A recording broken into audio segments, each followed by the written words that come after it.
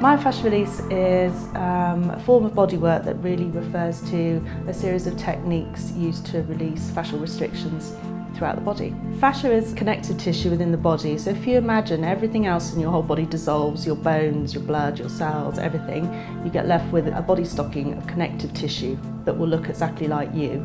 Um, and it's how everything in the body is joined together. If you imagine a spider's web, if you were to sort of pull one side of the spider's web, it would get taut and tight all the way through the rest of the web.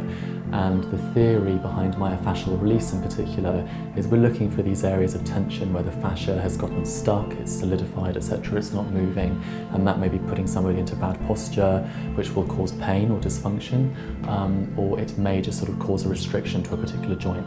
Myofascial release differs from regular massage in that it's not lots of long flowing strokes, you don't use any oil, so it's an oil-free treatment because we're really trying to connect with the fascia beneath the skin. So we're placing our hands on the skin and moving very slowly and very deeply. So there will be long pulls and stretches and focused stretches, no sort of gliding movements like regular massage. Really the most obvious things that we see people for are the typical kind of, you know, back, neck and shoulder pain, hip pain, limb pain. It's, it's usually really musculoskeletal problems where people have more those sorts of long-term chronic aches and pains. They just, they've tried everything else to help. They've had osteopathy, they've had acupuncture, they've had massage, and all of those things will help them, but they still always seem to nag and come back.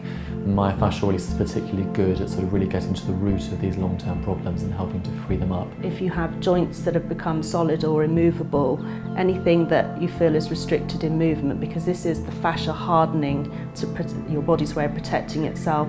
So we would use myofascial techniques to start stretching things out gently and, and start to increase mobility, particularly good for shoulders and hips. Because we're working on dry skin, we don't use any lubrication or oil on the skin at all. So it's quite often to sort of almost feel like a Chinese burn effect through the skin, but we're always very, very clear with our patients. So you just tell us when this feels too strong. If, the, if it's uncomfortable, just let us know and we back off for you. But generally speaking, MFR isn't a particularly uncomfortable treatment to have. It works on a very profound level, so people may find that it releases um, long-held emotional experiences that they've been retaining in their body, so they might feel a sense of emotional release. In the majority of cases, they just feel looser and lighter in their body.